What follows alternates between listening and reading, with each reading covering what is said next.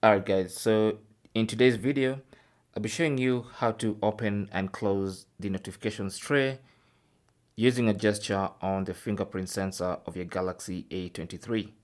So it's a very convenient feature. You can just slide down to look at your notifications and slide up to close. So slide down to see your notifications, slide up to close the notifications tray.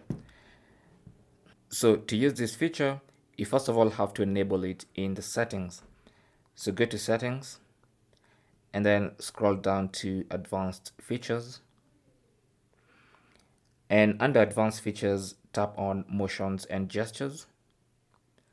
And then there, tap on finger sensor gestures at the bottom.